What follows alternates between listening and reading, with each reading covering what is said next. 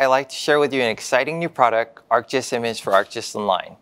This new offering allows users to host, manage, visualize, analyze, share and collaborate imagery content all within ArcGIS Online as a software as a service. To demonstrate this, we'll explore the country of Grenada, located in the West Indies in the Caribbean Sea. Grenada is currently working on updating its GIS with new content, such as aerial imagery, elevation layers, and LiDAR data. Using ArcGIS Image for ArcGIS Online, let's see how we can do this. We'll begin by uploading some imagery data. Imagery layers can now be hosted as a static tiled imagery layer for efficient viewing and optimal analysis performance, whereas a dynamic imagery layer that supports dynamic mosaicing and on-the-fly server-side processing. By following the user interface, we can select a layer configuration and choose a raster type. Raster types makes it easy to build imagery layer from a variety of raster formats and providers. We'll be using GeoTIFFs, so we'll select raster dataset. By simply dragging and dropping aerial imagery collected by our partner Fugro, the data will now be created in ArcGIS Online as a dynamic imagery layer. Let's take a look at the layer we created. This is 60 gigabytes of aerial imagery provided by the government of Grenada and supplied by the United Kingdom government all hosted in the cloud as a service in less than 10 minutes. This high-resolution orthomosaic image provides a crisp, recent view of the entire nation.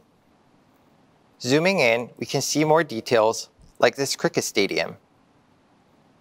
A dynamic imagery layer like this provides access to all the pixel values, metadata for each image, and applies on-the-fly server-side processing, which returns only what is required to display on the screen. For example, we can change the band combination to false color to better understand the surrounding area.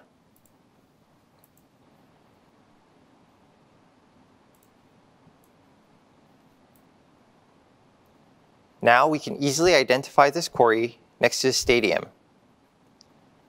Let's switch back to natural color.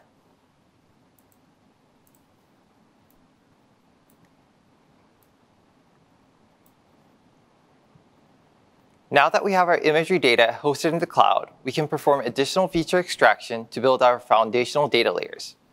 Digitizing features like this used to be a tedious task that took long hours of manual labor. Now we can expedite and automate this process by leveraging deep learning. ArcGIS Image for ArcGIS Online comes with a collection of raster analysis tools, which includes object detection. From this tool, we can use either a tiled or dynamic imagery layer as our input and select the model. Training and curating a model can be a challenging task, especially if you've never done it before. The Living Atlas provides a library of deep learning models that work seamlessly within ArcGIS Online. You can access these models that vary from extracting features like building footprints, classifying land cover, and many more.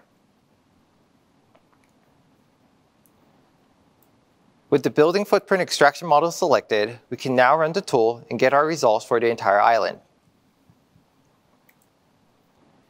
Here are the results from some of the deep learning packages done in less than a day.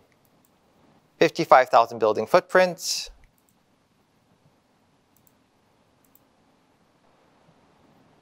roads across the island, and a complete land cover classification layer. These are just some of the capabilities available in ArcGIS Image for ArcGIS Online. To take a deeper dive with more advanced raster analytics, I'd like to hand it over to my colleague, Kate Hess. Now that Yoon has created foundational GIS layers for the country and hosted them in the cloud, I can easily access the data remotely. I'll tackle our next challenge using the power of raster analytics in ArcGIS Online. Grenada has rugged topography and faces frequent tropical storms. As a result, they regularly experience landslides, which can damage homes and businesses, disrupt transportation, and even lead to injuries and death. Let's identify infrastructure that may be at risk, by using a process model to proactively locate areas susceptible to landslides.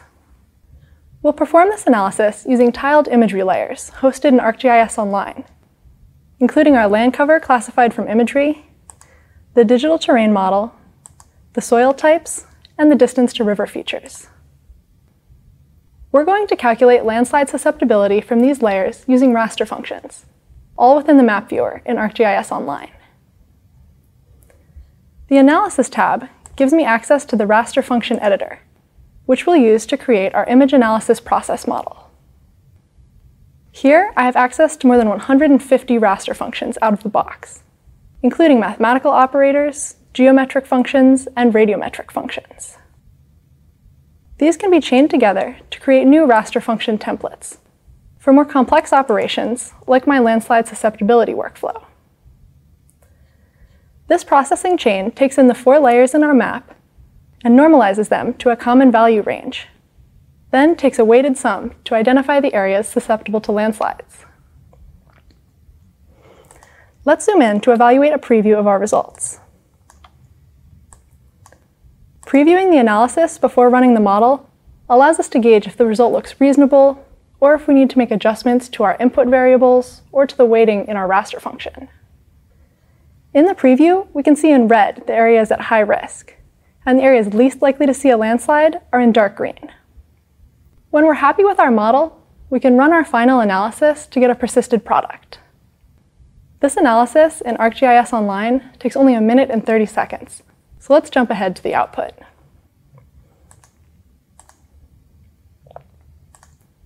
Now we can see the areas with high susceptibility to landslides for the entire island. Let's bring this output layer into a 3D scene so we can visually explore the relationship between landslide risk and elevation. In 3D, I can clearly see how slope steepness relates to landslide susceptibility. Let's get a better understanding of what infrastructure may be at risk by bringing in the building footprints and roads that Yoon extracted from imagery. These layers are easily accessible to us, since they're hosted in our organization in ArcGIS Online. In 2D, we can clearly see that this building falls within a high-risk area. But now in 3D, my attention is also drawn to this road, which falls within an orange area, but would be impassable if there were any significant landslide above it on the hillside. This is just the beginning of what we can do with hosted imagery layers and deep learning models in ArcGIS Image for ArcGIS Online. All of this was created in the cloud, so we didn't need to set up any infrastructure to run our analysis. We can also use point cloud data and ArcGIS Pro to bring our buildings into 3D. This gives us additional context for the building on the slope, as we can now see its height and shape, and how much of the structure is built on the hillside. With the additional capabilities of ArcGIS, we can continue to build out our countrywide database and foundational GIS, including bringing in LiDAR data to see our vegetation and power lines. We now have a 3D base map for the entire country. As a result, we have a building inventory for census planning. With the additional data layers, we can have an approach to natural disaster response that is more data-driven. And urban development, like here, in St. George can be intentionally planned and sustainable. All these capabilities, hosting imagery, deep learning models to extract features, and sophisticated raster analytics, are now available in the cloud.